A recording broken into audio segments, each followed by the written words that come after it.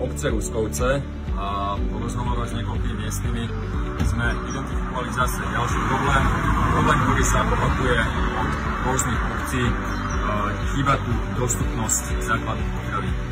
Za mnou vidíte, že kedysi tu nejaké potraviny boli, nejaká krčnička tu bola, ale žiaľ, v dnešnej dobe, keď to není rentabilné, tak to tu funguje asi, asi tak, že keď chcete ísť na pivo, poďte na Žiravu, keď si chcete nakúpiť základné potraviny, poďte do Sobraniec. Takto funguje kapitalizmus na slovenskom vidieku. Keď niečo nie je rentabilné, tak záujem ľudí je vedľajší.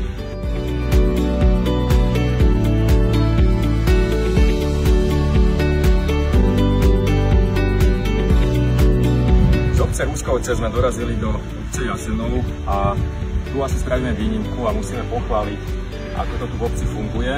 Došli sme do centra obce, ktoré ako vidíte je nádherne vynovené a vidíme, že európske peniaze dokázala obec, vedenie obce naozaj efektívne využiť.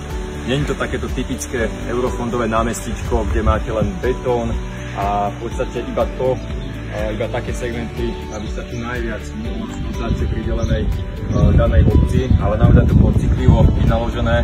A čo chcem osobitne pochváliť je ten objekt za mnou.